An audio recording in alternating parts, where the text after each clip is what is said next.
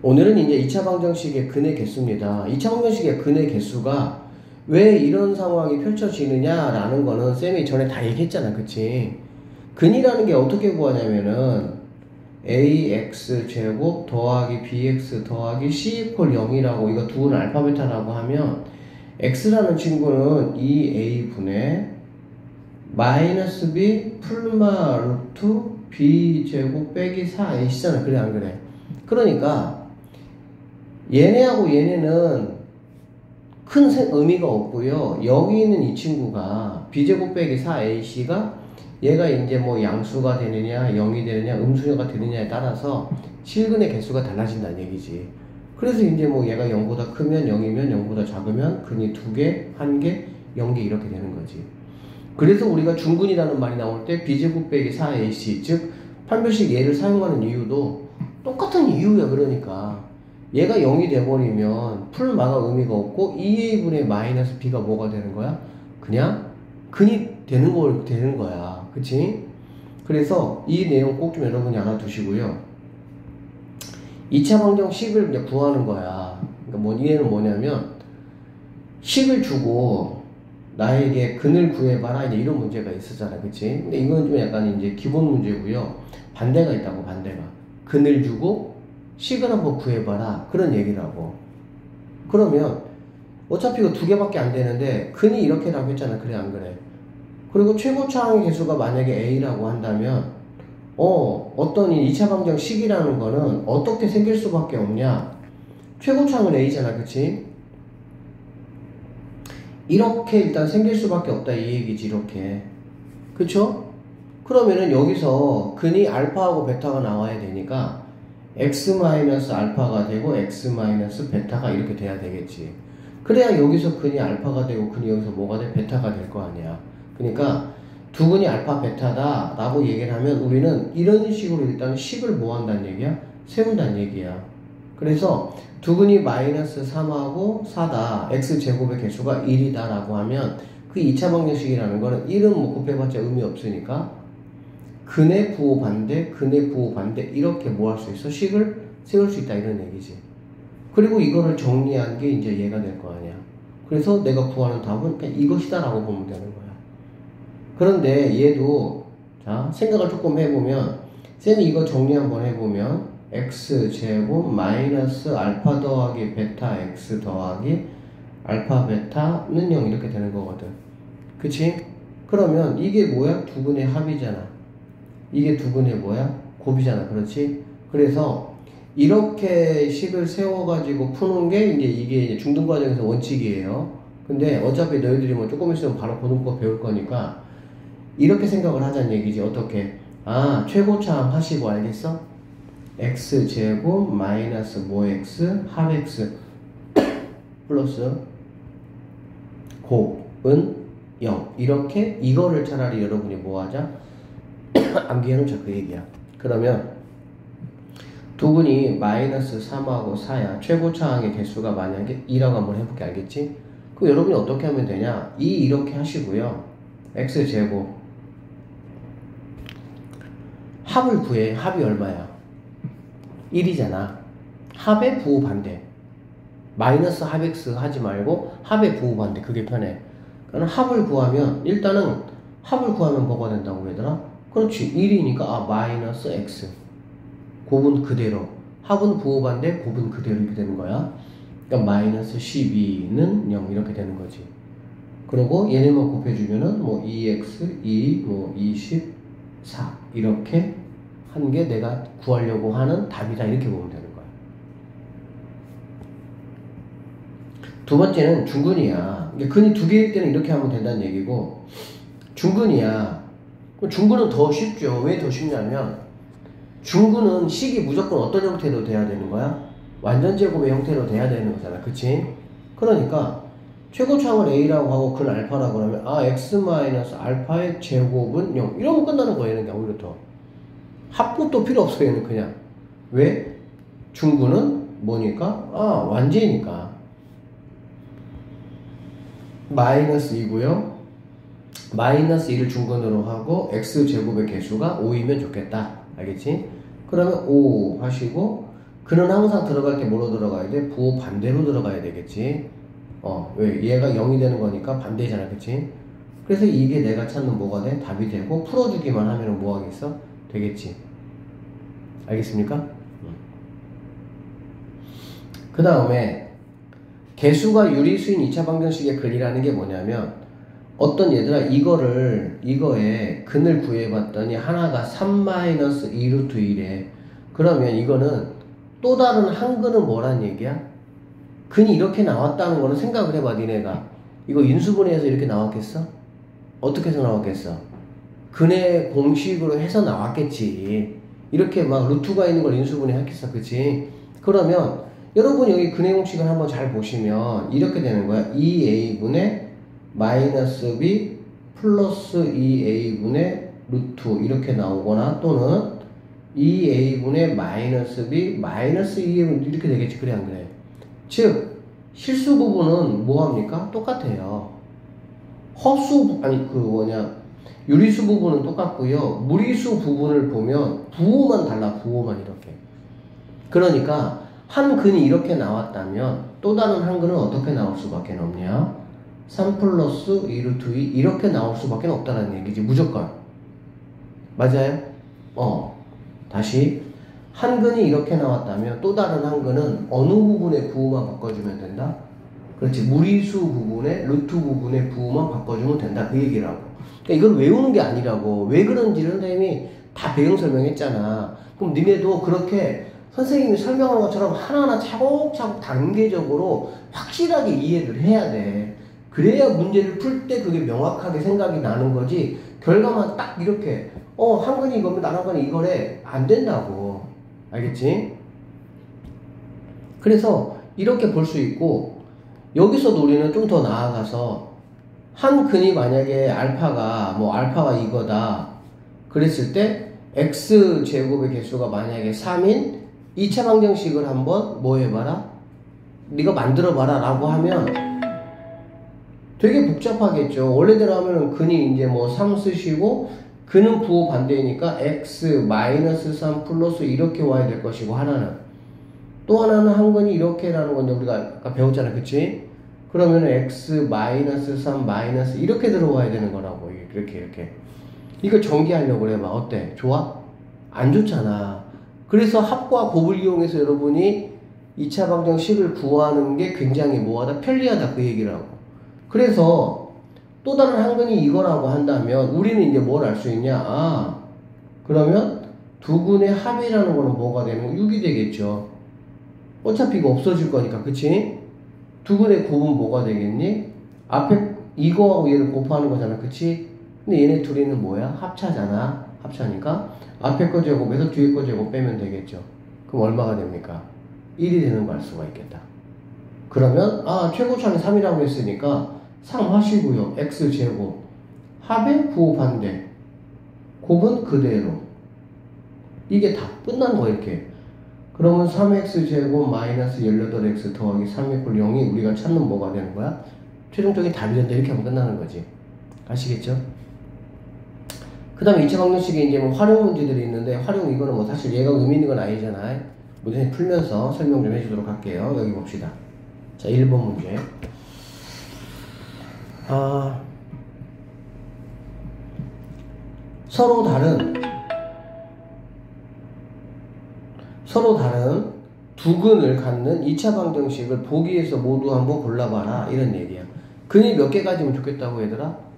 두 개 가졌으면 좋겠다는 거야. 서로 다른. 그치? 그러면 이 문제를 딱 봤을 때 내가 물어볼게.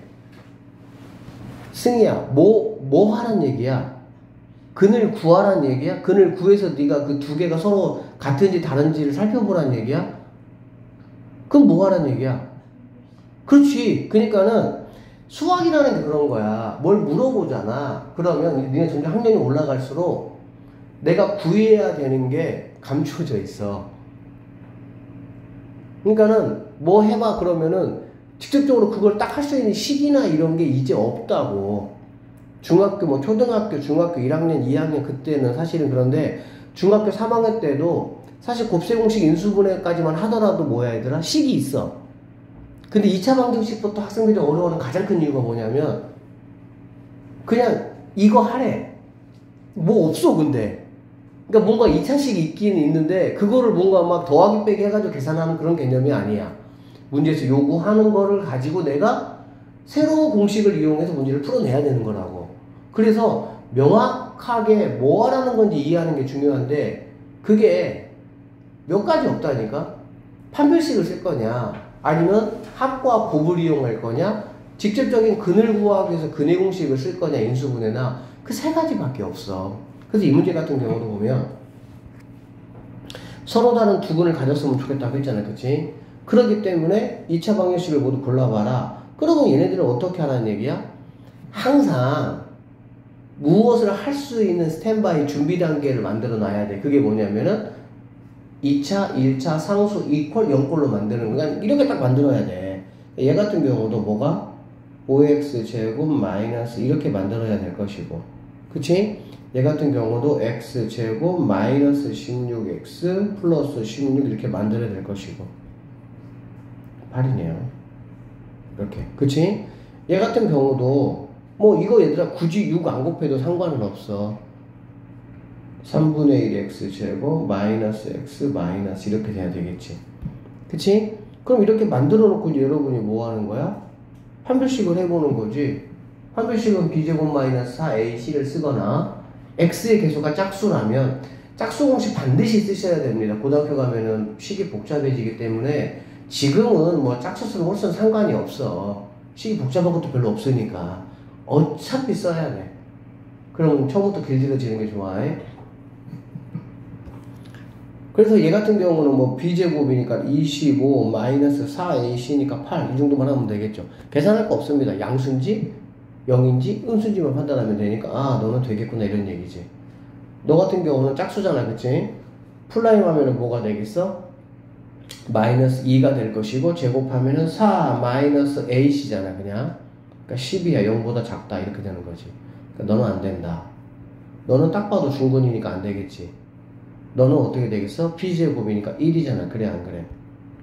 1, 그치? 그 다음에 두 개 곱해서 부호반대니까는 6분의 1 이렇게 되니까 0보다 크다라는 걸 알 수가 있겠지. 그래서 기억하고 리을이 뭐가 되는 거야? 답이 된다 라는 사실을 우리는 알 수가 있겠죠. 쌤이 여기서도 하나만 더 좀 추가적인 이야기를 좀 해줄게. 봐봐. 얘처럼 만약에 x제곱 얘들아 만약에 뭐 2x 빼기 3 이렇게가 있고 이렇게 또 한번 해보자. 선생님이 뭘 얘기하려면, 뭘 얘기하려고 하냐면, 이 상수항이 음수인 경우를 말하는 거야. 알겠어? 상수항이 음수인 경우는 얘는 판별식을 할 필요가 없습니다. 무조건 얘는 0보다 큽니다. 왜 무조건 0보다 크냐면, 자, 얘가 지금 b잖아. 그치? 그러면은 b 제곱을 할 것이고, 마이너스 4에다가 a에다가 c를 곱하는 거잖아. 그치? 근데 우리가 a는 항상 얘들아 너희들이 우리가 뭘로 정리한, 정리한 상태야? 양수로 정리한 상태이지 항상 x제곱은 음수일 때는 어떻게 합니까? 뭐 어떻게 해 그냥 다 넘기면 되는 거잖아 그럼 양수가 되니까 그러니까 항상 x제곱을 뭘로? 양수화 시키는 거야 그랬을 때 보면 c가 만약에 음수라고 한번 해봐 그럼 당연히 여기 있는 마이너스하고 얘하고 곱해져서 뭐가 되겠어? 반드시 뭐가 되겠어? 양수가 되겠지 그러면 b제곱은 당연히 뭡니까? 양수죠 제곱이니까 그리고 여기도 뭐가 되는 거야? 양수가 되겠지. 그러니까 양수하고 양수가 얘는 무조건 0보다 뭐 할 수가 클 수밖에 없어. 결론적으로 이렇게 했어. 이거 판별식 할 필요 없다. 이런 얘기야. 알겠지? 여기가 음수면은 무조건 얘는 뭐다? 서로 다른 두 실근을 가질 수밖에 없다. 이렇게 보시면 되겠지. 어. 이런 팁들은 다 적어놓고 익히는 게 좋아. 한번 들을 때는 알겠는데 다 까먹어. 어. 그래서 선생님이 팁 같은 거를 주면은 다 적었다가 천천히 복습하고 하면서 다시 싹 익혀놓고 그렇게 해. 어. 머리를 믿지 마세요. 손, 손과 노력을 믿어. 응. 자, 5번 문제 한번 봐봐. 자, 서로 다른 세 실수 A, B, C에 대해서 얘가 성립한다 라고 얘기를 했네. 자, 얘가 성립할 때 2차 방정식 이거에 서로 다른 근의 개수를 한번 구해봐라. 이렇게 얘기했다. 그쵸? 그러니까 얘는 어떻게 하면 되냐? b제곱 마이너스 4 A, C가 지금 뭐란 얘기야? 어떻게 되냐? 이게 지금 어떻게 되냐? 이런 얘기잖아. 그치? 얘가 어떻게 되냐? 그 얘기야. 근데 지금 이러한 관계가 뭐 한다고 했어? 성립한다고 했잖아. 그렇지. 이것도, 자. 이거는 지금 누구에 관해 정리한 거야? A에 관해 정리한 거지. 그러니까 A가 뭐냐? 이렇게 된 거지. 근데 실제 수학은 항상 이렇습니다, 얘들아. 얘를 하나 줬는데 실제 우리는 몇 개를 알고 있는 거 똑같아? 세 개를 알고 있는 거 똑같아. 그런 관점이 있어야 돼. 즉, B는 누구냐 그 얘기지, B는. C는 누구냐 그 얘기야. 오케이? 그럼 B는 당연히 누가 되겠어? A 더하기 C가 되겠지. C는 누가 되겠어? B-A가 되겠지. 그래, 안 그래? 그래서 이거 하나만 나에게 알려줘도 나는 이렇게, 이렇게를 모두 뭐 하는 거야? 알고 있는 거야. 똑같은 거야. 그래서 여기에서 지금 A, C를 내가 다 건들 수가 없으니까 여기 있는 누구 대신에 B 대신에 이 친구를 뭐해? 집어넣어보자. 그런 얘기지. 음. 그러면 이 식이 어떻게 되냐? 아, A 더하기 C의 제곱 마이너스 4AC가 되는 거리 갈 수가 있겠다. 그치? 그러면 이거는 바로 A 빼기 C의 제곱인 거 혹시 알 수 있을까요? 알 수 있을까요? 어, 이렇게. 왜 그러냐면은 이 친구가 뭐야? a제곱 플러스 2ac 더하기 c제곱 마이너스 4ac잖아. 그치? 그러니까 당연히 플러스고 얘가 마이너스니까 a제곱 마이너스 2ac 플러스 c제곱이니까 이렇게 완제가 된다는 얘기야. 근데 지금 이런 것들도 인수분해 때 공부가 충실히 좀 되어 있으면 여기에서 바로 이렇게 올 수 있어야 되는 거라고. 수학은 누적학습이야. 쌓이면 새로운 게 배우는 것만 공부하면 되니까 수학이 되게 생각보다 할만해지는데 전에 게 없으면 계속 새로 와. 까먹었으니까 이것도 하고 새로운 것도 해야 되고 근데 이게 중딩까지는 커버가 되는데 고등은 커버가 안 돼요. 커버가 안 돼. 어. 그러니까 알고 있는 거를 정확하게 익혀놔야 돼. 자, 이렇게 되니까 얘는 당연히 0보가 뭐 하겠어? 크거나 같겠지. 그런데 서로 다른이라고 했지 얘들아. 서로 다른이라는 거는 이게 이제 같다라는 거는 언제 같겠어? A하고 C하고 뭐 할 때? 같을 때가 0이잖아. 그치? 그런데 같지 않으니까 0도 되겠어? 안 되겠어? 안 되겠지. 그래서 이러한 결론이 나오고 이러한 결론은 판별식이 0보다 크니까 서로 다른 두 실근을 갖는다. 즉 근이 두 개다. 이렇게 판단하시면 되는 문제입니다. 6번. 응. 자, 2차 방정식이, 2차 방정식이 이렇게 있습니다. 해를 갖도록 하는 자연수 K의 개수를 구하라 이런 얘기잖아. 그치? 해를 갖는다는 거는 당연히 얘도 무슨 말이야? 하나를 갖든 두 개를 갖든 상관없이 그냥 해를 갖는다는 거잖아. 그러니까 누구하고 연관돼 있어? 그러니까 얘들아, 문제가 항상 셋 중에 하나라고. 판별식, 근과 개수의 관계, 아니면 직접적인 근을 구하는 거. 셋 중에 하나야, 항상. 그런 관점으로 보시면 다 보인다니까? 그러면 얘는 판별식 하는 얘기잖아, 그치? 판별식을 할 건데, 얘가 지금 뭡니까? 짝수니까, 짝수 사용할 거야. 그러면은 뭐 얘가 마이너스 3이니까 9 마이너스 뭐가 됩니까? AC가 되겠죠. 그쵸? 그러니까는 AC니까 이거 부호반대 하면은 2K 플러스 1이 0보다 크거나 뭐하면 돼? 같으면 되겠다. 됐습니까? 그러니까 여기서는 2K가 작거나 같네. 누구보다 10보다. 그래서 K는 5보다 작거나 같다. 이렇게 될 수가 있겠지. 자연수의 개수가 몇 개냐라고 물어봤으니까 답은 몇 개? 다섯 개. 11번에 2차 방정식이 서로 다른, 서로 다른 두 근을 갖도록, 얘도 뭐 판별식 쓰라는 얘기고 0보다 커야 된다. 그 얘기잖아. 그치? 그래서 조심할 게 있다. 이 문제 딱 봤을 때 뭐를 선생님이 조심하라고 얘기할 것 같아? 조엘이? 뭘 조심할 것 같아?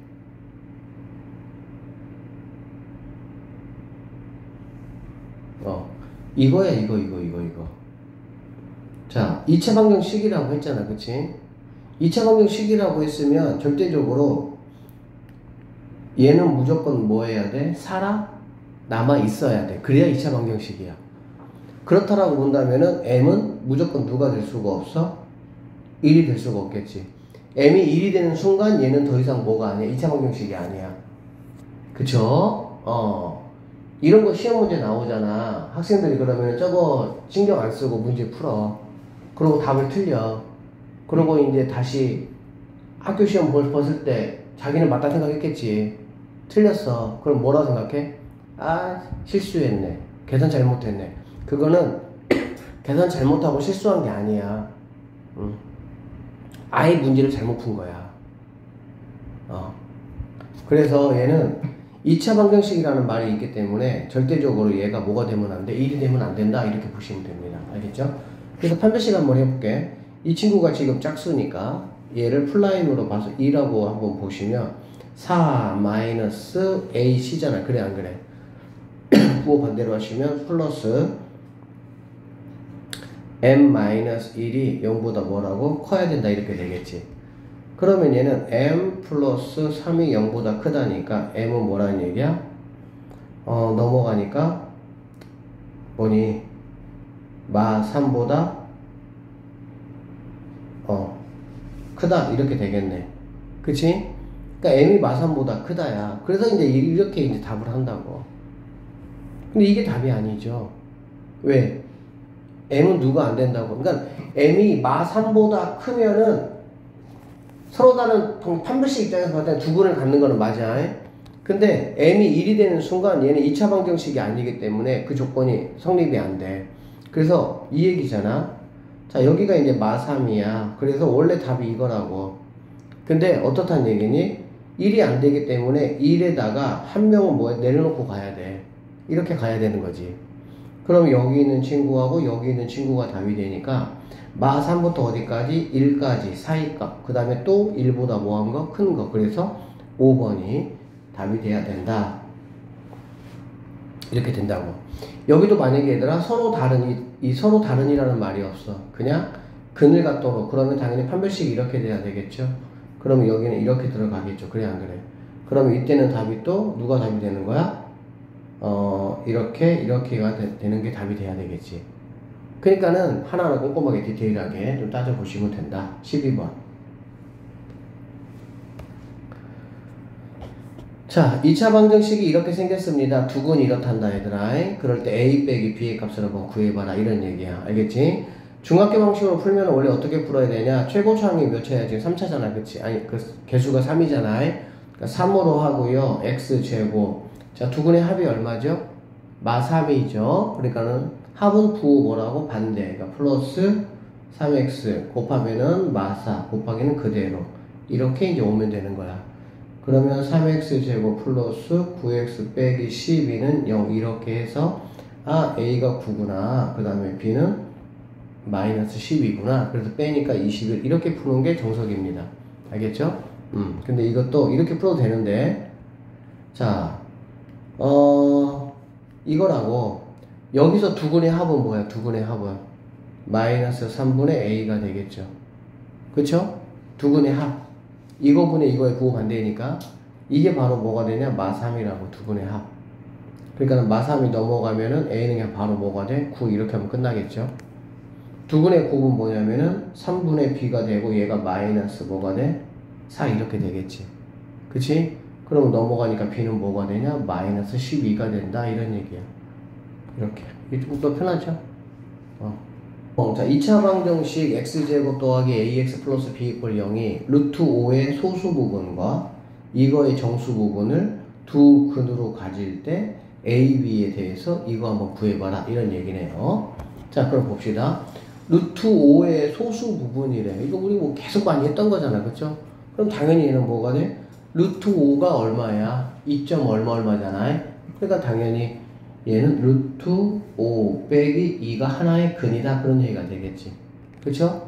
그 다음에 루트 30 빼기 1의 정수 부분이래. 루트 30은 몇 점 얼마 얼마야? 5점 얼마 얼마지? 1 뺐네. 4점 얼마 얼마지? 그럼 정수 부분은 당연히 뭐가 되겠습니까? 4가 되겠네요. 그래 안 그래? 그럼 무슨 말이냐면 얘하고 얘를 뭘로 갖겠다는 거야? 두 근으로 갖겠다 이런 얘기가 되겠지.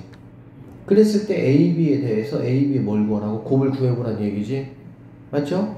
그러면 여러분 여기서 A는 우리가 어떻게 구할 수 있어?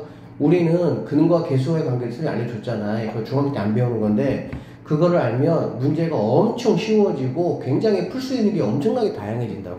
그러니까 이런 것도 마찬가지로 뭐 돼? 그냥 두근의 합이 뭐야? 마이너스 A잖아. 이해돼? 두근의 합이 이거분의 이거의 부호 반대니까 그럼 마이너스 A가 뭐냐? 두근의 합. 두근의 합이니까 당연히 뭐가 되겠어? 2 더하기 루트 5 이렇게 되겠지. 근데 얘가 나는 A를 알아야 되니까 그래서 A라는 친구는 넘겨주면 마이너스 2 이렇게 되는 걸 알 수가 있겠다. 됐습니까? B는 뭐예요? B는 두근의 곱이잖아. 그래 안 그래? 그치? 두근의 곱이니까 얘는 그냥 4에다가 루트 5 빼기 2 이렇게 하면 되겠다. 그치? 그럼 얘가 B야. 얘가 A고. 뭐 하라 그랬어? A, B의 곱 구하라 그랬네. 그치? 그러면 A, B라는 거는 뭐냐면 일단은 A는 얘잖아. 그러면은 마이너스 루트 이거 바꿀게 바꿀게 이렇게 이렇게 될 것이고 맞죠? 그 다음에 B는 똑같이 루트 5 빼기 2에다가 뭘 곱한 거야? 4를 곱한 거네. 맞죠? 이 친구 합차잖아 합차. 합차니까 앞에 꺾기를 곱하면 얼마야? 마이너스 5 뒤에 꺾기를 곱하면 플러스 4 이렇게 되겠네. 오케이? 그래서 이제 얘는 그러니까 이거 합차 뭐 이런 것들을 공부 다 했잖아. 딱딱딱 바로 눈에 보여야 돼. 그러면 수학이 재밌어져 쉬워지는데 이게 안 보여. 그러면 또 아, 이거 뭐지 막 이렇게 되는 거야. 어. 그러니까 얘는 마이너스 1 곱하기 4니까 마사 이렇게 답이 되겠네. 16번 문제. 자, 1차 함수 y는 ax 플러스 b의 그래프가 오른쪽 그림과 같을 때 ab를 두근으로 하고 ab를 두근으로 한대. 그러면 이거 1차 함수잖아. 그치? 중2 때 배운 거잖아. 그러면 여기 있는 b는 우리가 뭐라고 알고 있어요? y 절편이라고 알고 있죠. 이것도 까먹었으면 또다시 해야 돼. 해야 돼. 무조건 해야 돼. 알겠지? 그럼 얘야 얘. 그러니까 b는 뭐가 되는 거니? 마이너스 5가 되는 거지. 그럼 a라는 건 뭐냐면 a는 우리가 뭐라고 배웠어? 기울기라고 배웠죠? 기울기는 뭐 두 점 찾아가는 거 다 알고 있지? 그럼 3만큼 갔을 때 5만큼 떨어졌으니까 b는 마이너스 3분의 아니 a는 마이너스 3분의 5가 되겠네. 됐죠? 그 다음에 a, b를 두 근으로 한다. 그러니까 얘하고 얘를 뭐라고 한다고 얘들아? 두 근으로 하겠다 그 얘기야. x제곱의 개수가 3인 2차 방정식을 구하라 이런 얘기잖아. 맞죠? 그러니까 자, 3 하시고요. x제곱. 이거 두 개 합해봐. 합해보면 얼마야? 이거를 갖다가 어떻게 하면 좀 편하냐? 3으로 바꾸면 편해요. 3분의 마이너스 15 이렇게 되겠지. 그치? 어제 통분할 거니까. 그럼 두 분의 합은 3분의 마이너스 20이잖아.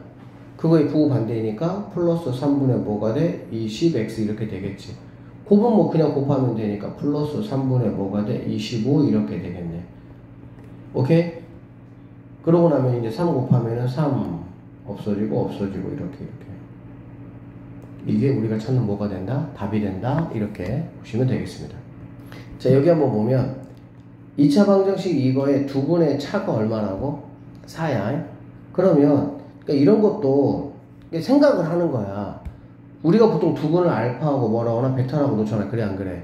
그런데 알파하고 베타라고 놓는데 이 베타를 이러한 조건이 있으니까 뭐라고 놓겠다는 거야? 알파 더하기 4로 놓든지 또는 알파 빼기 4로 놓겠다 이 얘기지.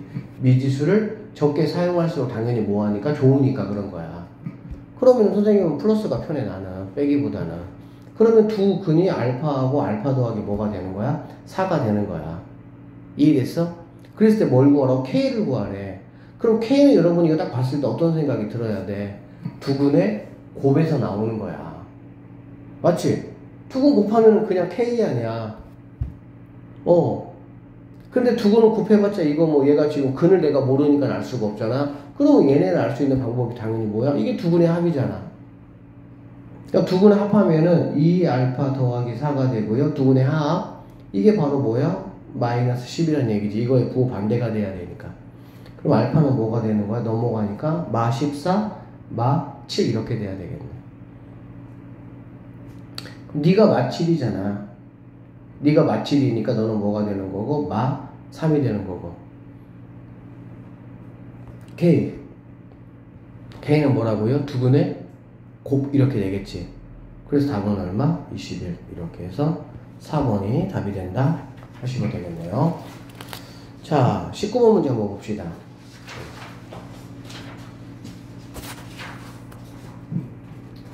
여기 이쪽을 좀 어려워하더라고 보니까 한 근이 다른 근의 두 배래 그러면 여러분 어떻게 생각하면 돼? 한 근의 다른 근이 두 배래 그러면 근을 뭐라고 놀래? 듀엘이 뭐라고 놀래? 그러니까 한 근을 알파라고 놨어 또 다른 근을 뭐라고 놀래? 그렇지 그 얘기야 그냥 어 베타라고 놓으면 안 된다고 두 근의 비가 2대 3이래 그러면 그 뭐라고 놀래 승희야? 무조건 알파를 고집할 필요는 없어요. 어, 그러니까 뭐라고 하냐? 아, 하나가 2알파면 하나는 뭐가 되겠어? 3알파가 되겠지. 그러니까는 여기서 나에게 주어진 조건에 따라서 내가 뭐 하는 거야?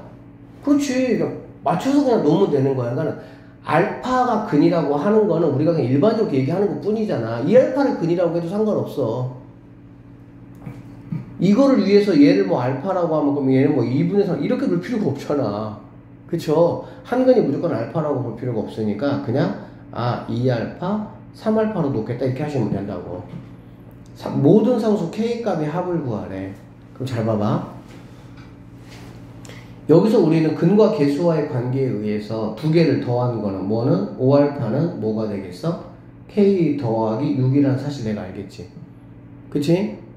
맞죠? 두 근의 합. 이거. 부호 반대니까 x에 두근의 곱. 6 알파 제곱은 6k가 되는 거야. 그럼 여기서 뭐 6은 약분 정도는 해줄 수가 있겠지 이렇게 그치? 그럼 k라는 친구가 알파 뭐가 되는 거니? 제곱이 되겠지. 그럼 나는 지금 뭐를 구해야 돼? 뭐를 구해야 돼? k를 구해야 되는데 여기서도 여러분이 보실 게 뭐냐면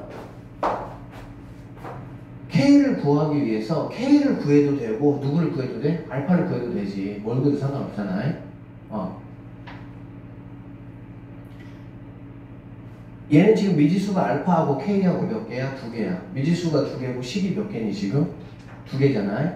그러니까 나는 당연히 이걸 풀 수 있어. 근데 얘도 1차고 얘도 1차일 때는 여러분이 중학교 2학년 때 배웠던 가간법을 보통 많이 써.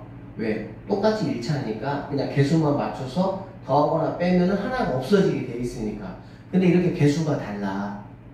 앞으로 여러분이 만나는 모든 연립방정식은 개수가 달라요. 같은 거 없어 이제. 그러면은 뭘 쓰냐? 대입이야 대입법. 뭘 쓴다고? 대입법. 대입법이라는 거는 뭐냐면 얘가 지금 알파하고 K로 돼 있잖아요. 그치? 근데 K가 뭐라 그랬어? 알파 제곱이라고 그랬지. 그러니까 여기 K 자리에 누구를 집어넣는 거야? 알파 제곱을 집어넣을 수 있잖아. 똑같으니까. 그래 버리면은 여기 위에 있는 식이 뭘로 바뀝니까? 그쵸? 알파만 있는 식으로 바뀌는 거잖아. 그치? 그러면은 자 해볼게요. 여기다가 이제 이렇게 K 자리에다가 이총 이렇게 대입하겠다는 거야. 알겠지? 그러면 아 5 알파는 알파 제곱 더하기 6 해가지고 알파 제곱 마이너스 5 알파 더하기 6이 0이니까 당연히 알파 값이 몇 개 나오니? 두 개가 나온다라는 말 수가 있겠지. 이거 뭐 인수분 해보면 알파는 바로 뭐 2하고 3 나오는 거 바로 알겠죠. 어, 그 알파가 2래. 알파가 2야. 여기다 알파 2 집어넣어보자. 알겠지? 여기다 알파, 여기, 여기서 이제 보면 K라는 거는 뭐냐면 5 알파 빼기 6이잖아. 그래, 안 그래? 그래서 알파가 2일 때 그때 K는 바로 뭐가 되겠어? 10에서 6 빼니까 4가 되겠죠. 3일 때, 3일 때는 15에서 6 빼니까는 뭐가 되겠어? 9가 되는 걸 알 수가 있겠지. 그러면 얘네 둘이가 뭐가 되는 거야? 아, 내가 구하려는 K 값이 되겠구나 라는 얘기야. 알겠습니까? 그래서 모든 향수 값의 합은 뭐가 된다? 13이 답이 된다. 이렇게 볼 수가 있습니다. 한 근이 다른 한 근보다 3만큼 크다. 그러면 알파, 알파 더하기 3 이렇게 놓으시면 되겠지. 자, 2차 방정식을 푸는데 민준이는 이거 뭐 잘못 보고 푼 문제도 항상 뭐 잘 나오는 그런 아이템이야 유형이야 그럼 잘못 보고 풀었어 얘들아 그럼 이 항상 이게 이런 식이다 x 그 2차 함수를 보면 2차 방정식을 보면 이렇게 있잖아 그럼 얘를 잘못 봤다는 얘기는 얘는 잘 봤다는 얘기잖아 그치? 얘를 잘못 봤다는 얘기는 얘는 잘 봤다는 얘기잖아. 그치? 그럼 만약에 얘를 잘못 봤어. 그럼 어떻게 하면 돼? 나는 두근의 곱을 이용하면 되는 거야. 맞지? 얘를 만약에 잘못 봤다. 그럼 두근의 뭘 이용하면 되는 거고, 합을 이용하면 되는 거고. 그러니까 잘못 본 거는, 잘못 본 거는 그냥 냅두시고, 잘 본 것만을 가지고 내가 뭐 돼? 계산하면 된다는 얘기지. 맞죠? 그래서 두 명이 나오네요. 민준이. 자, 이렇게 있습니다. x의 개수를 잘못 봤대. 그럼 x 개수 잘못 봤다는 얘기는 얘는 잘 봤잖아. 그치? 그럼 얘는 잘 봤다는 얘기는 곱하기를 내가 이용할 수 있다는 얘기지. 그러니까 결론적으로 민준이 거에서는 누구를? 아, 상수항이 마이너스 12구나. 즉, b가 마이너스 12구나. 라는 걸 알 수가 있다. 이런 얘기가 되겠죠. 지연이, 지연이. 지연이는 상수항을 잘못 봤어. 그러면은 얘는 잘 봤겠지. 그치? 그럼 두 분의 합에 해당하는 마이너스 a는 잘 본 거고, 어, 중근이 나왔네. 그래, 안 그래? 중근은 5가 몇 개란 얘기야? 두 개란 얘기지. 그러니까 두 분의 합은 뭐가 되는 거야? 10이 돼야 되는 거야. 5가 아니에요. 중근도 근이 두 개야 해. 어. 이렇게 보시면 알잖아. 이렇게, 이렇게, 이렇게. 봐봐. 그럼 x제곱 빼기 10x니까 두 분의 합이 10이 되겠지. 맞지?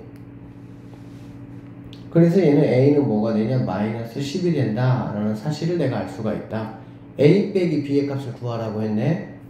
여기에서 b의 부호 반대 답은 얼마가 되겠습니까? 2, 5번이 답이 된다 이렇게 보시면 되겠지. 자, 23번입니다. x제곱의 개수가 있는 2차 방정식을 푸는데 성진이는 x를 잘못 보고 이렇게 해서 우정이는 상수항을 잘못 보고 이렇게 풀어서 방금 푼 문제와 똑같은 문제잖아 그치? 어, 푸시면 되겠네요 24번 자 여기 봅시다 한 근이 이거래 한 근이 이거 그러면 선생님이 이것도 니네한테 뭘 얘기했냐면 이거 딱 보면 앞에 거 제곱하고 뒤에 거 제곱 차이가 얼마야 1이잖아 1 그치? 그러면 선생님 이런 거 무조건 뭐라 그랬어? 큰 게 앞에 오는 게 좋다 그랬지? 그러니까 얘는 루트 5 빼기 더하기 이렇게 보시면 된다는 얘기지. 이렇게 보면은 앞에 거 제곱이 오고 뒤에 거 제곱이 4니까 당연히 루트 5 빼기 2 이게 바로 한근이란 얘기야. 그러니까 여기서 바로 이렇게 와서 이렇게까지 바로 오는 거야. 우리는 뭐 했으니까 다 배웠잖아 이런 식으로 하, 기로 그러니까는 이렇게 주더라도 나는 바로 이렇게 뭐 하는 거야 익히는 거야 이렇게 바로 익히는 사람은 수학이 쉬워지는 거고 일일이 다 계산하는 친구는 또 계산 한참 했어도 여기까지 오는 거고 힘든 거고 그런 거라고. 한근이 이거면 또 다른 한근은 뭐가 되겠니? 선생님이 한근이 루트로 나왔어. 그럼 또 다른 한근은 어디 부호가 바뀐다고 얘들아? 무리수 쪽에 부호가 바뀐다고 그치? 가운데 부호가 바뀌는 게 아니에요. 상황 따라 이렇게 쓸 수 있으니까. 무리수의 부호가 바뀌어. 생각을 해봐. 근해 공식에서 풀마 루트잖아. 그러니까 루트의 부호가 바뀌는 거야. 그러니까 마이너스 루트 5 빼기 이렇게 된다는 얘기야. 다른 한 건 구하라 그랬네. 그러면 뭐 얘가 답이니까는 뭐 그냥 이거 끝이네 그냥. 아무것도 아닌 문제예요. 한근이 이거다. 다른 한근은 3 마이너스 루트 10 이렇게 돼야 되겠지. 두 근의 합을 두 근의 곱을 이렇게 잖아 그치? 두 근의 합은 당연히 얘는 뭐 6이 될 것이고 두 근의 곱은 9 빼기 10이니까 빼기 1 되겠지. 그래서 뭐 이런 거 구하는 거는 쉽게 구할 수 있겠다. 자, 여기까지가 이제, 어, 일반적인 문제였고요. 이제 유형 7번부터 뒤로 뒤로 넘어가서 유형 굉장히 많습니다. 10 몇 번이니? 10 몇 번이야? 17번까지가 이제 활용 문제입니다. 활용. 항상 활용이 조금 부담스럽긴 한데, 자, 봅시다. 문제는 여러분이 잘 해석하시면 되는데요. N각형의 대각선의 개수가 이거래. 알겠지?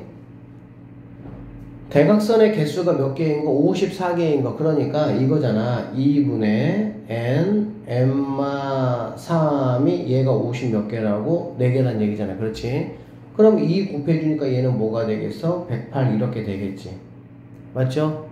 그러면은 이거는 원래 n제곱 마이너스 3에 빼기 108은 0 이렇게 해서 인수분해 하는 게 맞아. 근데 쌤이 이렇게 하지 말라 그랬지. 이거 어떻게 하라 그랬어? 얘들아 n하고 n마 4의 뜻이 뭐야? 아, 3 차이 난다 그 뜻 아니야. 그러니까 얘가 만약에 10이면 얘는 7 이런 얘기 아니야. 얘가 11이면 얘는 무조건 8 되고 얘는 10이면 얘는 무조건 뭐가 돼야 돼? 9가 돼야 되는 거야 이런 식으로 그치? 그러면 뭐 얘가 답인 걸 우리가 금방 알 수 있잖아 그러니까 n이 12일 때 뭐 답이 되니까 12각형 이렇게 하면 끝나는 문제야 그냥. 아시겠어요? 다음 문제 30번. 자 어떤 수를 제곱해야 할 거를 잘못해서 두 배를 했대. 당연히 여기서 우리는 뭐 어떤 수를 뭐라고 할거 x라고 넣을 거 아니야. 그치? 자 일단 그럼 두 배 했대. 그럼 2x 이 얘기잖아. 그랬더니 제곱한 것보다 이건 x제곱이 되겠죠. 얘가 얘가 63만큼 작게 나왔다니까 당연히 뭐 더해줘야 같아진다 이런 얘기지. 그러니까 이런 문제들은 항상 좌변과 이렇게 해서 첫 번째 경우하고 두 번째 경우가 이게 뭐야? 같아져야 되는 거야. 알겠지? 그러니까 뭐 첫 번째 경우 이렇게 했는데 두 번째 이렇게 했을 때보다 어, 첫 번째가 만약에 5가 크다 그러면은 당연히 큰 만큼을 빼주든지 작은 쪽에 5를 모아든지 더해주든지. 뭐 그러게 그래 같아질 거 아니야. 내가 너보다 천 원 많아. 그럼 어떻게 해야 같아져?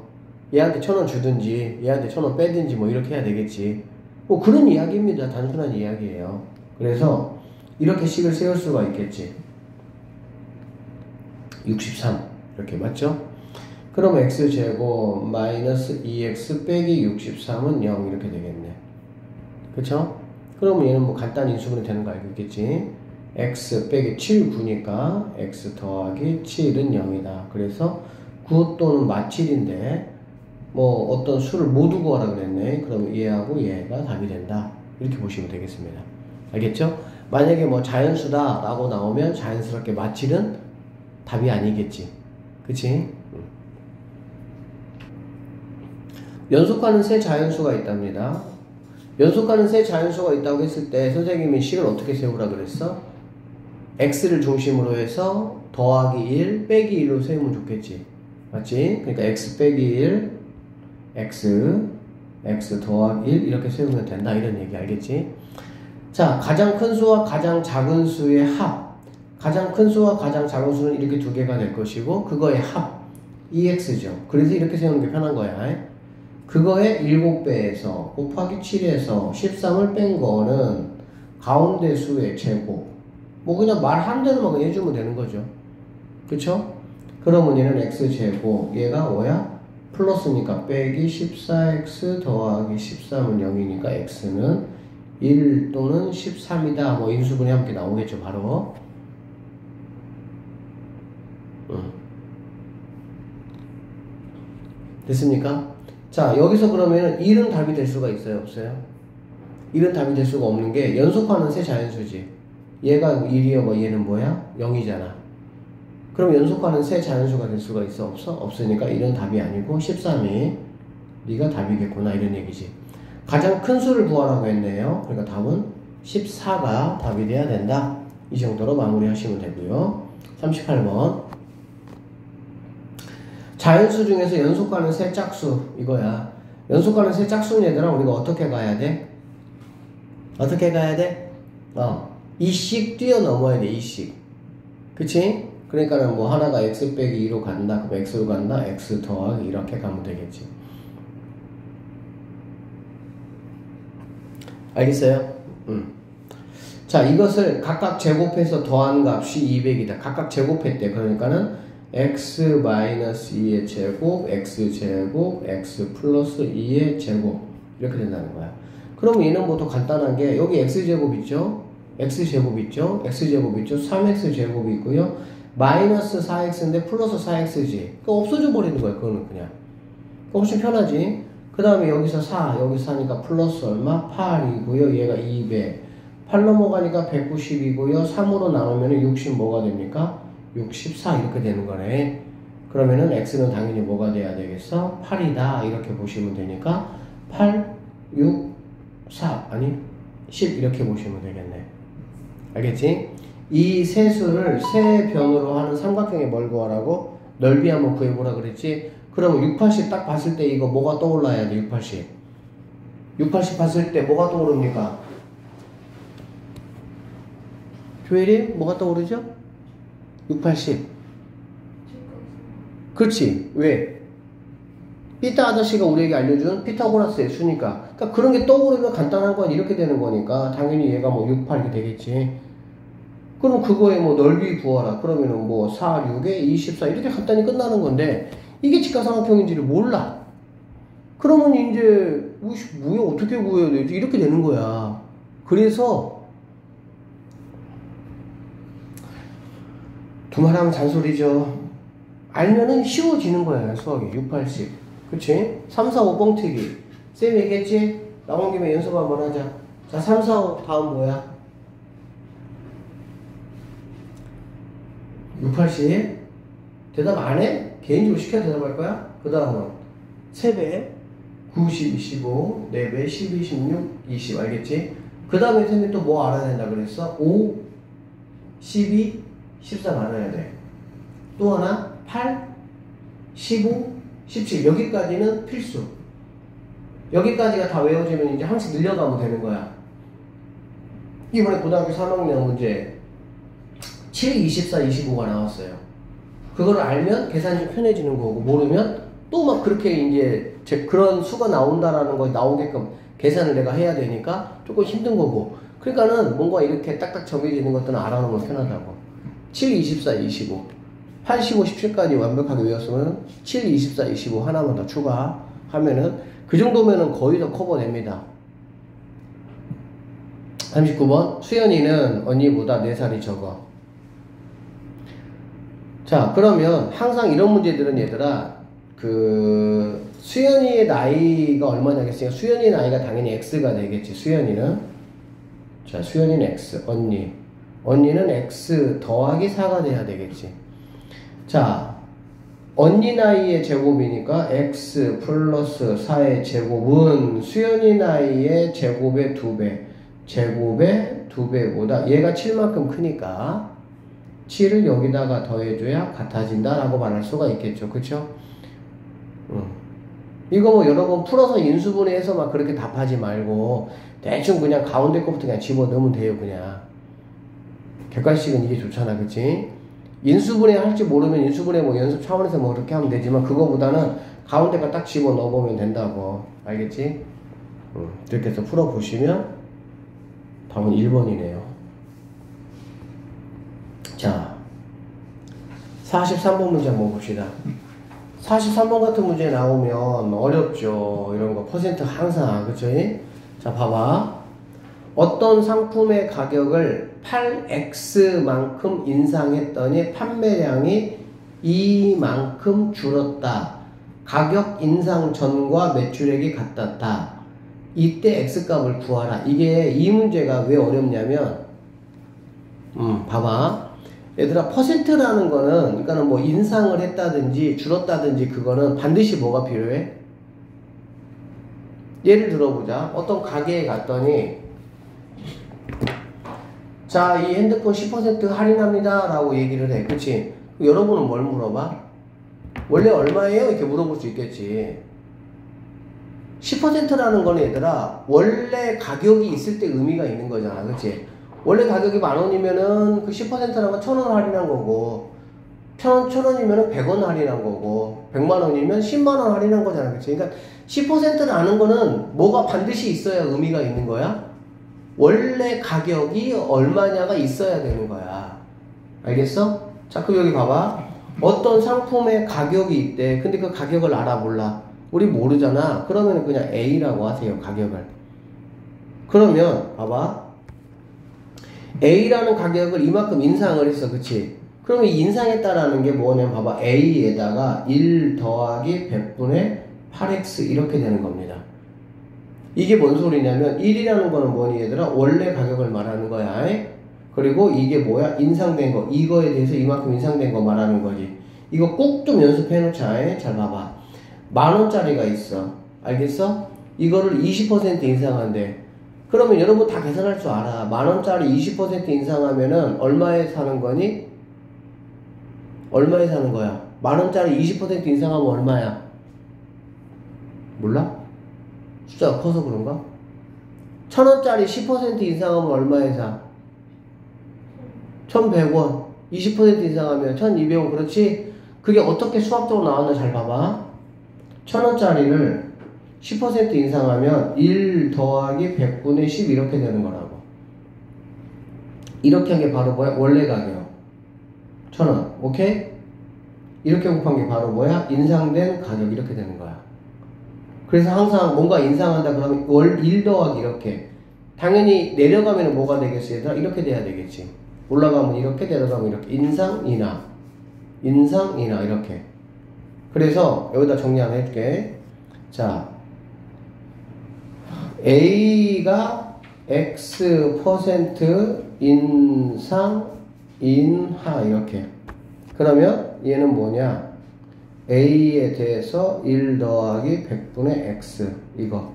얘는 A에 대해서 1 마이너스 100분의 X.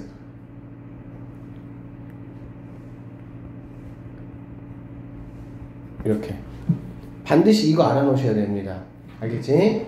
기준이 있어야 돼, 기준이. 기준이 없으면 여러분이 그냥 A, B로 나, 나도 상관없어. 왜 그러냐면, 이제 이따 이거 계산하면, 계산하면서 여러분이 이제 알겠지만, 어떻게 되냐? 없어져, 어차피. 근데 B를 반드시 써야 돼. 자, 그 다음. 판매량이 5% 줄었대. 이것도 마찬가지야. 판매량이 얼마인지 알아 몰라. 그럼 5% 줄었다는 거는 그럼 어, 원래 얼마 팔렸는데 이만큼 줄었냐 그 얘기잖아.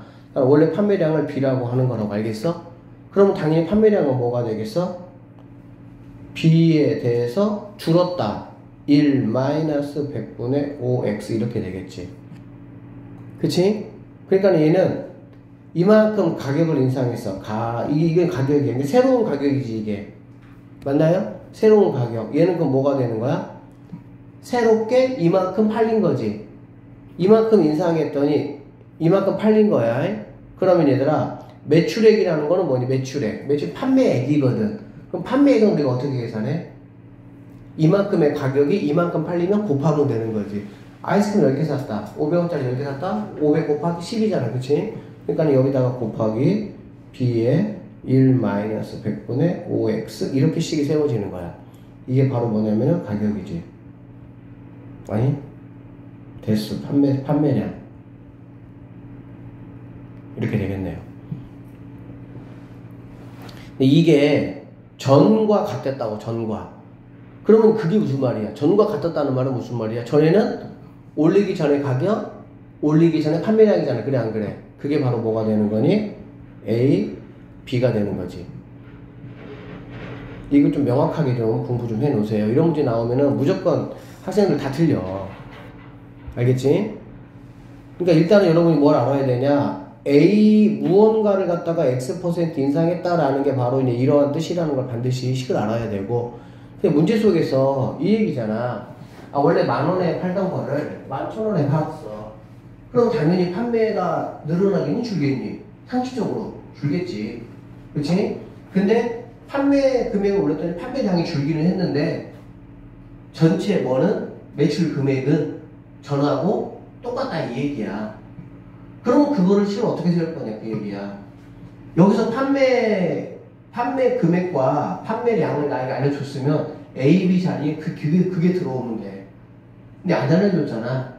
그치? 안 알려줬기 때문에 뭐가 되는 거야? 이렇게 오시면 되는 거야. 여기도 만약에 전, 전의 매출액의 10%가 감소했다. 그러면 당연히 뭐가 되는 거야? 똑같아. 1. 감소 빼기 100분의 10. 10%가 늘었다. 가로하고 1 더하기 100분의 10 이렇게 되는 거지. 그러니까 뭔가 늘었다 줄었다는 거는 무엇에 대해서 무엇에 대해서 기준이 필요하다고.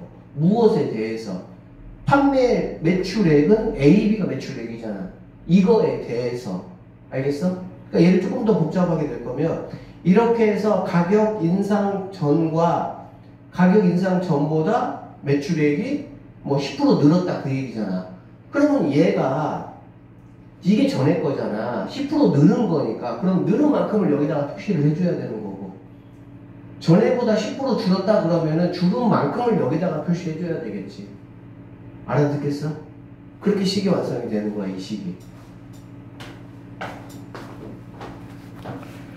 자, 그래서 계산만 이제 해보시면 되겠네요. 그냥 이거 뭐 A, B니까 없애버리면 되는 거야. 그러면 얘는 1이 되겠지. 그쵸? 그럼 양쪽에다 이제 얼마를 곱해줘야 되냐? 이거 봐봐. 여기는 지금 100이잖아. 야, 여기다가 100을 곱해주자. 여기다가 100을 곱해주고, 얼마, 얼마 곱해준 거야? 만 곱해준 거야, 만. 이게 곱하기이기 때문에. 더하기라면은 뭐 그냥 똑같이 100 곱해주면 끝나잖아. 그치? 근데 곱하기니까 각각. 그러면은 만을 곱해주면 이거는 뭐가 되는 거니? 100 더하기. 여기 100 곱해줬으니까. 그쵸? 어, 8x. 이렇게. 여기도 100 마이너스 5x가 얼마가 돼야 돼? 만 이렇게 돼야 되겠지. 그치? 어, 이제 이렇게 식을 세워 놓으시고, 이거 같은 경우는 이제 뭐 여러분이, 어, 뭐 끄집어낼 게 없네. 여기서는 5로 끄집어낼 수 있겠지. 5. 그쵸? 이거, 이거 단독으로 움직이는 거 알고 있죠? 곱하기니까. 어, 여기서 5 끄집어내면은 뭐 이거, 이건 줄여주고 이거 뭐 하면 돼? 약분하면 되겠지. 그러니까 5 줄여주면 얼마가 되는 건 얘는 20 빼기 x 되고 얘는 뭐가 되는 거야? 5 줄였으니까 2000 이렇게 되는 거지. 맞아요? 여기는 얼마 줄 수, 4 줄일 수 있지? 4 줄이면 뭐가 돼? 25 더하기 2x 4 줄이면 뭐가 되겠니? 얘는 어 500이 됩니까? 이렇게 될 수가 있겠죠. 그러면 얘보다는 이걸로 판단하는 게 조금 더 뭐해? 편하다라고 볼 수가 있긴 하겠네. 그러고 나면 이제 뭐야? 뭐 이것도 이제 뭐 이제 이렇게 식만 세우면 그 다음은 뭐 하는 거니? 뭐 계산만 하면 되는 거잖아, 그렇지? 객관식이면 적절하게 여러분이 뭐 한번 뭐 대입을 해서 문제를 푸셔도 상관없을 것 같아요. 얘하고 이거의 곱하기가 뭐냐 500이라는 얘기니까 알겠어? 답이 조금 안 좋네요. 이렇게 나오네. 음. 자, 44번. 자, 126장의 영화 관람권을 이거 잘 봐. 126장의 영화 관람권을 영화 동아리 학생들에게 남김없이 똑같이 나누어 주는데 이렇게 얘기했어. 그러니까 126장을 영화 동아리 학생에게 남김없이 똑같이 나누어 준다는 말이 무슨 말이니? 어, 만약에 10명이면 똑같이 나눠줘, 못 나눠줘? 못 나눠주는 거야. 그쵸? 10명한테는 나머지가 남을 수밖에 없잖아. 그러니까는 동아리 학생은 10명 이렇게는 안 되는 거지. 쉽게 말하면 126에 뭐가 가능해? 약수만 가능한 거야. 그래야 남김없이 딱 나눠줄 수 있을 거 아니야. 8이면 가능합니까? 풀지 말고 시켜. 어. 오늘 분위기 좋았는데 왜 주다 또 갑자기 끝나겠죠. 어쨌든 X명한테 X명한테 Y장씩 나눠줬다라고 생각을 한번 해보자. 알겠어? 어. 자 여기까지 이야기가 X명에게 Y장을 나눠줬다. 이렇게 생각하면 되겠지. 그래, 안 그래? 그러면은 당연히 여기서 우리는 어떤 식이 세워지냐? X 곱하기 Y는 얼마죠? 126이다. 라는 우리가 알 수가 있겠지. 그치? 자, 그런데 한 명이 추가로 들어왔어.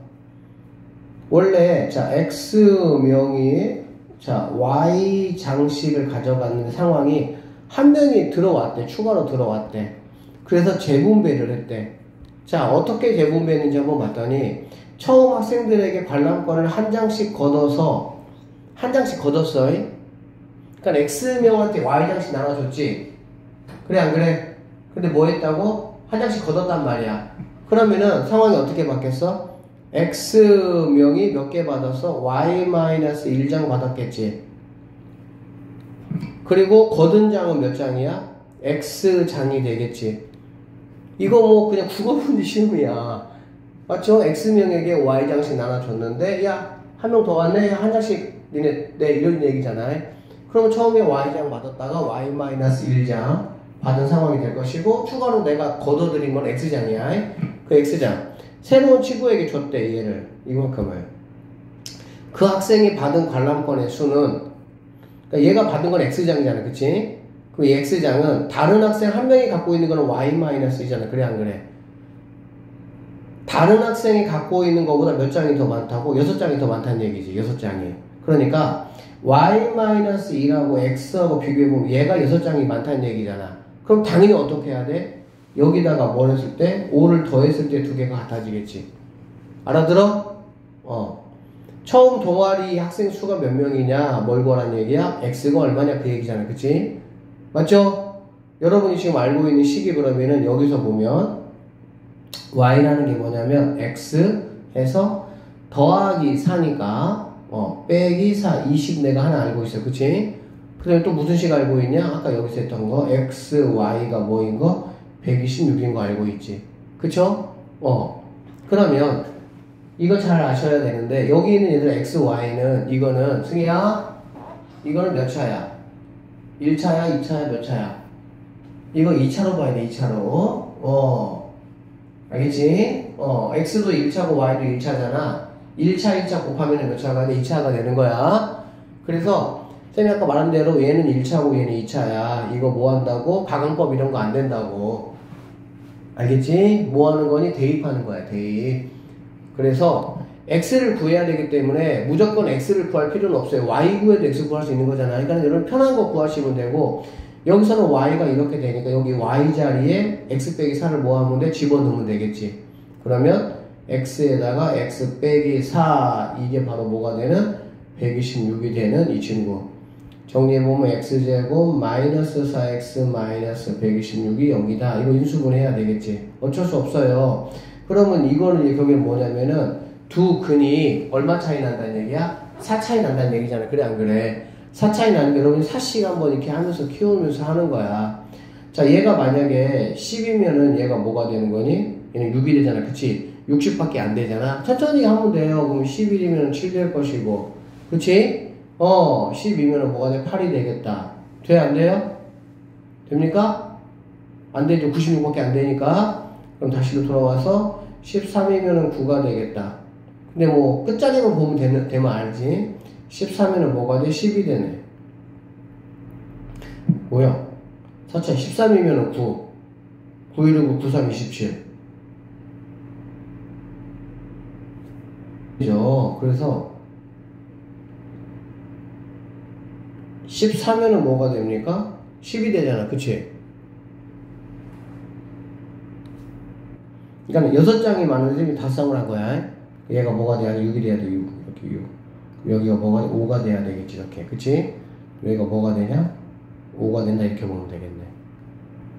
그래서 여기서 다시 한번 말씀을 드리지만 이렇게 이렇게 막 인수분해 해가지고 문제를 푸는 거 상당히 어리석은 겁니다. 알겠지? 두 개가 곱해서 얘가 나오는 거를 뭐하자 생각하자 이런 얘기라고. 알겠어? 응. 그러니까 얘가 뭐 얘가 10이면 얘는 15니까 너무 크잖아요. 그러니까는 뭐 얘가 9면 얘는 14. 그러면 9, 4, 36 나오네 이렇게. 그러니까 x는 14명이다. 14명이다. 이렇게 마무리하시면 되겠습니다. 43번, 44번이 조금 어려웠죠. 조금. 어. 45번이고요. 여기 보세요. 키가 키가 2m인 어떤 농구 선수가 공을 던질 때 공을 던진, 던진 후 t초가 지나면 공의 높이가 이만큼이 된다는 얘기야. 이런 문제는 간단해요. 왜? 식이 그냥 나와 있어. 알겠지? 그러니까는 키가 2m인 어떤 농구 선수가 있는데 공을 던지고 나서 몇 초 후에 높이를 봤더니 이렇단 얘기야, 식이. 자, 공이 몇 초 후에 지면에 떨어지는가 생각을 해봐. 지금 여기 있는 얘들아, 이게 무슨 식이야? 이게 무슨 식이라고? 높이라고, 높이. t초라는 시간 후에 높이라고 알겠지?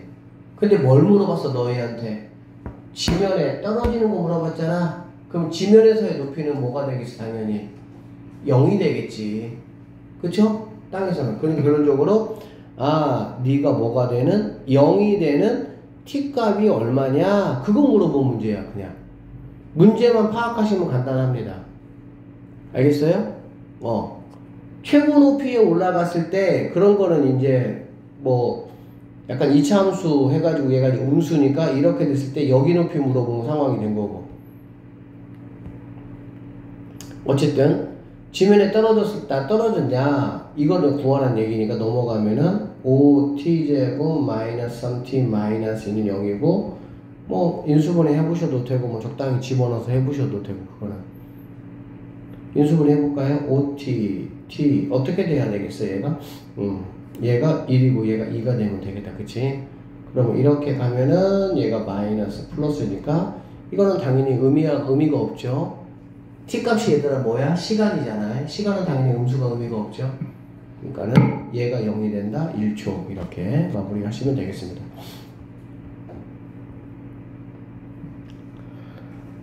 지면에서 얘한테 이렇게 돼 있고 높이다 똑같은 문제야. 근데 이게 70m 이상이래 알겠지? 그러니까는 뭐 이렇게 된다는 얘기야 알겠어? 근데 딱 이렇게 70m 이렇게 딱 자른 거야 지금. 그러면 이게 이제 몇 초, 이게 몇 초 이렇게 나오겠지. 70m 이상인 지점을 지나는 것은 몇 초 동안이냐, 몇 초 동안이냐. 얘가 만약에 뭐 5초 만에 70m 올라가고 10초 만에 만약에 내려온다라고 하면 당연히 5초, 이게 그게 답인 거야, 그냥. 알아듣겠어? 그러니까 여기서 45 마이너스 5t 제곱이 얼마인 가 70이 되는 t값을 한번 구해봐라. 이런 말이라고 보시면 되겠습니다. 알겠죠? 음. 그러면 여기 넘어가니까 5t 제곱이 왔다 가면 0 이렇게 되겠네. 그쵸? 그래서 이제 5로 약분하면 t제곱 마이너스 9t 5로 약분하면 14는 0 이렇게 되겠다. 7입니까? 7이? 그쵸? t 빼기 2 이렇게 이렇게 되겠네. 즉 여기가 몇 초? 2초. 여기가 몇 초? 7초 이렇게 되겠지. 2초 만에 70m를 딱 올라가서 공중에 쭉 이렇게 있다가 다시 이렇게 항상 우리가 공을 던지면 되더라. 그 공이 포물선 운동이야. 포물선 운동. 포물선 운동 2차 함수야. 2차 함수. 그래서 이만큼의 기간을 물어본 거기 때문에 답은 뭐가 되냐? 5초가 답이다. 이렇게 마무리하시면 되겠습니다. 49번. 둘레가 40이고 넓이가 108이다. 그러면 여러분 이렇게 한번 해보세요. 둘레가 이렇게 돼 있어, 이렇게. 가로가 세로보다 길다. 이렇게 했네. 그치? 그러면, 얘들아, 얘를 x라고 한번 놔볼게. 뭐, 세, 아니, 세로, 세로 x에 세로 x. 그리고 가로 뭘까? 가로, 여기 가로. 가로 뭐야? 둘레가 40이면 기억니, 니은자 얘는 21이 되겠지, 21. 맞죠? 그러면 얘는 뭐 21 빼기 x 이렇게 되겠지. 뭐 너무 이건 간단하지. 그럼 x하고 21 마이너스 x를 곱할 때 그게 뭐가 돼야 되겠어? 108이 돼야 된다는 얘기네. 그러면 얘도 얘들아 이렇게 이렇게 하면 된다고 그냥. 뭔 말인지 알겠지? 21 차이가 나는 거잖아 얘는. 21 차이라는 게 빼기니까 뭐 그렇지 않네요. 그러면 뭐가 되겠어? 얘가 적당히 하면은 뭐 9 하면은 뭐가 되겠니? 12 이렇게 되겠지. 그럼 여기다 9 넣어봐. 그럼 얘는 9가 되지만 얘는 뭐가 돼? 9넣으면 12 맞아 안 맞아? 맞지? 그러면 9하고 12니까 누가 9겠어? 당연히 짧은 이 친구가 9다 이렇게 보면 되겠지. 오른쪽 그림과 같이 A, B하고 CD, A, B하고 CD가 이렇게 같다라고 했네요. 어, A, B하고 CD가 이렇게 같대, 얘들아. 그런데 AD하고, 아, AD하고 얘가 같다 이런 얘기구나. 사각형의 넓이가 얼마라고 얘들아? 130이라겠다, 그치? 그럼 뭐 생각을 해보시면 이렇게 되겠네요. 어떻게 되냐면, 어, 얘가 3이야, 그치?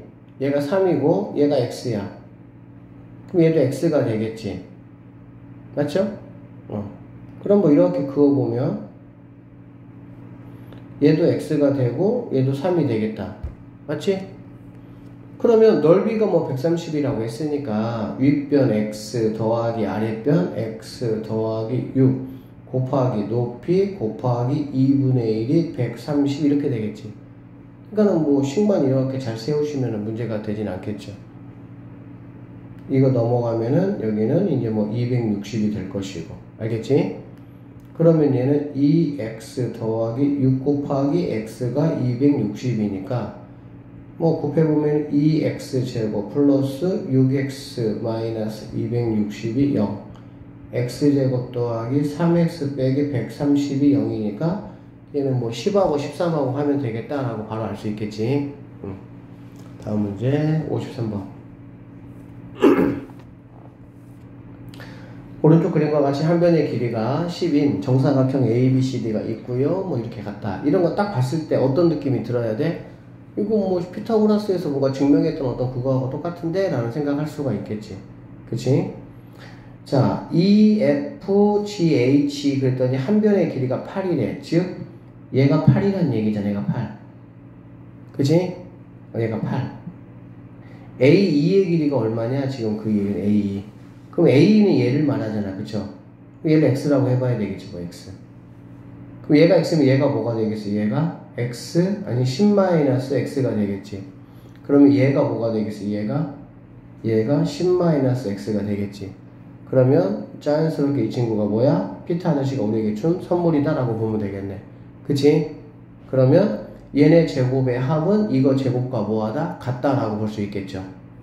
그래서 x 제곱 더하기 10-x 제곱이 얼마? 64 이렇게 된다 이런 얘기 알겠지? 답 나온 거 보니까 별로 모양이 좋지 않은 것들이 많네 그쵸? 그러니까 당연히 이거 정리해서 정리한다는 얘기는 2x 제곱 그 다음에 마이너스 20x 여기가 플러스 100이 생겼지 100이 생겼는데 얘가 넘어오니까 플러스 36은 0 이렇게 하고 x제곱 마이너스 10x 더하기 18이 0. 이 친구는 인수분해가 안 됩니다. 인수분해 안 되면 뭐 하면 돼? 근해공식 쓰면 되는 거야, 근해공식. 음. 플라임이니까 근해공식도 뭐 a분의 하면 되겠지. 어, 마이너스 b 프라임 플마 루트 프라임의 제곱 마이너스 ac 하시면 답은 3번이 나오는 그런 문제입니다. 됐죠? 그러니까 이것도 우리가 2학년 때 배웠던 뭐 피터 아저씨가 딱 생각이 나면 쉽게 풀리는 거야. 그러니까 왜 보이니까 눈에. 여기 갑시다. 54번. 오른쪽 그림과 같이 길이가 13인 두 선분을 나눴대 얘들아. 이런 거 봐봐. 두 정사각형의 넓이의 합이 얼마나 그랬어? 89라 그랬지. 그치? 그리고 뭐 작은 정사각형의 넓이니까 얘를 x라고 얘는 13 마이너스 뭐가 돼? x가 되겠지. 그쵸? 그러면은 뭐 당연히 두 정사각형 넓이의 합이 89니까 x제곱 13 마이너스 x제곱이 89가 되는 뭐 똑같은 문제야 계속 정리해서 인수분해 되면 좋고 안 되면 그래형식으로 활용해야 되고 이런 문제라고 보시면 되겠네 58번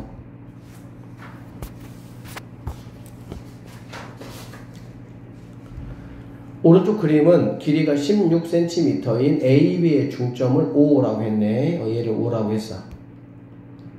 자, 어, 이거의 넓이가, 즉, 이거 큰 거의 넓이가 작은 거의 넓이의 4배보다 21만큼 뭐하다고 얘들아? 넓다 그 얘기잖아. 그치? 어. 그러니까 지금 이거는 내가 이제 P5의 길이를 구해야 되기 때문에 길이를 가지고 여러분이 하셔야 돼요. 맞죠? 그럼 얘 P5의 길이 얘를 X라고 하면 나볼게. X라고 얘를 X. 생각을 해보자. 자. 이게 지금 16이죠? 16이죠? 이만큼은 얼마입니까? 8이죠. 그쵸? 그러면 이만큼 얼마가 되겠어? 당연히 8에서 x만큼 뺀 거가 되겠지. 그러니까 얘는 8-x 이렇게 되는 갈수 있어. 오케이? 그러면 작은 정사각형의 한 변의 길이는 8-x가 되고 큰 거의 한 변의 길이 이 친구는 뭐가 되겠어? 8 더하기 x가 된다라는 걸 수가 있겠지. 이렇게 길이를 해 놓으시고요. 뭐 하면 된다고? 큰 거의 넓이라고 했으니까는 아 x 플러스 8의 제곱이라는 친구는 작은 거 어, 8 마이너스 x 빼기 8로 바꿔도 상관없죠. 그거의 제곱의 뭐야? 4배 보다 얘가 작은 거 4배 하고도 21만큼 얘가 더 컸지. 그러니까 여기다가 21을 모아보면 돼? 이렇게 더해주면 된다. 이런 얘기가 되겠네. 괜찮아요?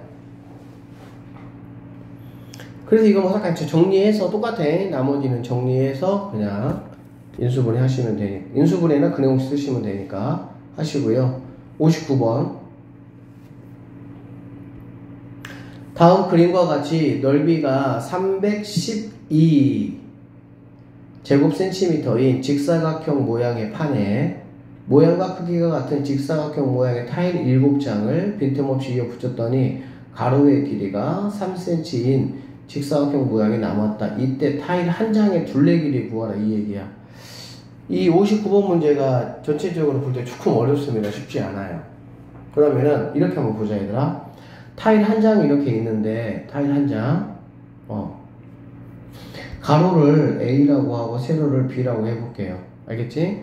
A, B가 어색하면 X, Y라고 해도 뭐 아무 상관없어요. 어, 이런 편한 걸로 하면 됩니다. 그러면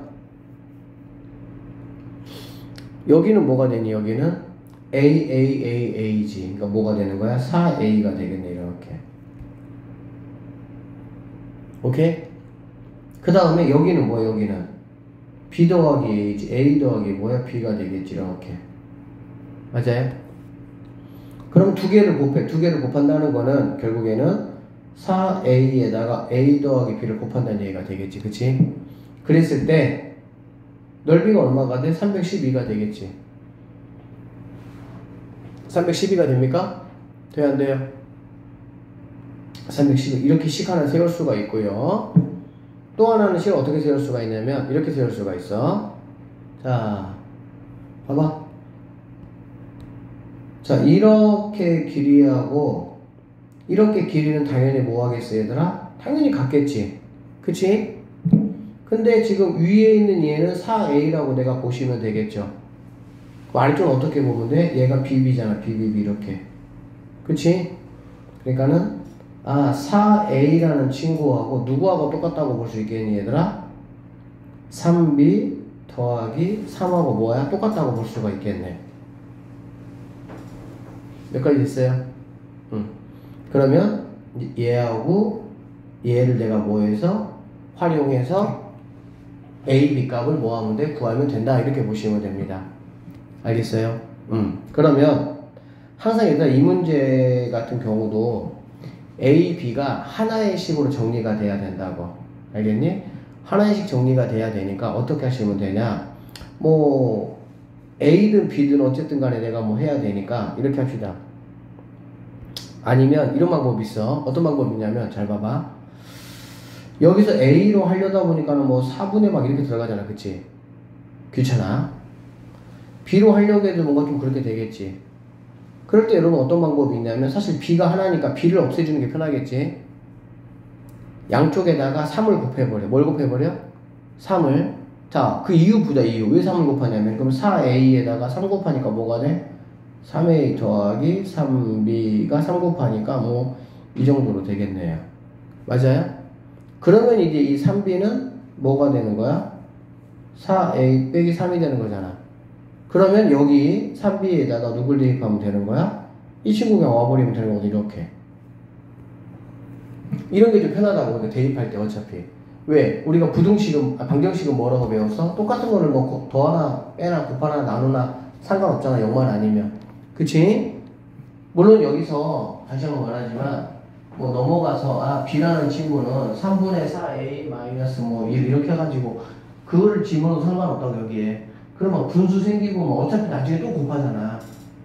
그러니까 나중에 곱할 걸 뭐 하는 거야? 미리 곱하는 거야. 그래서 이 모양이 나오게끔, 아니, 이 모양이 나오게끔 얘를 또는 얘를 뭐 하는 거야? 바꿔준다 이 생각하면 되겠지. 그러면 분수도 안 나오고 훨씬 느낌이 편하다 이런 얘기가 되는 거야. 알아듣겠어? 그러면 정리해볼게. 자, 4A 가시고요. 3B가 4A, 얘가 4A 빼기 3이니까, 아, 7A 빼기 3이 926이다. 이렇게 될 수가 있겠네. 그치? 그러면은 뭐 4는 이렇게 약분해 줄 수가 있겠다. 약분 안 되는구나. 4 약분 안 되네요. 그러면 74, 28A 마이너스 34, 12A 마이너스 926이 0이 되고, 이제 이런 게 문제다, 이제, 문제는. 이걸 뭐 하는 게 문제야? 어, 인수분해 하는 게 문제다, 사실은 이게. 이게 문제다, 이게. 음. 인수분해가 안 되면 근해공식 써야 되는데, 이게 참, 어, 이게, 이, 렇게 인수분해가 돼. 7A 더하기 39, A 빼기 6, 이렇게 인수분해가 돼. 그러니까 굉장히 좀 지저분하게 됐네요, 문제를. 근데 뭐 이것도 어쨌든 뭐 계산력을 테스트 해보는 거기 때문에 못하면 못 틀리는 거니까 그냥.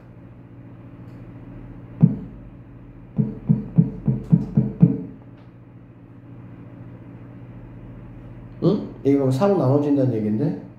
얘가 936이 됩니다. 그러면은 이제 4로 나눠줘 4로 이렇게 4로. 알겠지? 4로, 4로 나누면 4, 2, 8, 4, 3, 12, 4, 4, 16 이렇게 되네요. 어. 그래서 이런 식으로 인수분해가 된다라고 보시면 됩니다. 그러면 이런 뭐 어쩔 수 없어 해야 돼 그냥. 아니면 인수분해가 너무 커서 잘 모르겠다. 숫자가 크더라도 근위공식을 쓰면 되기는 해요. 근형식은 무조건 뭐 하니까 답이 나오니까 알겠지? 자, 60번.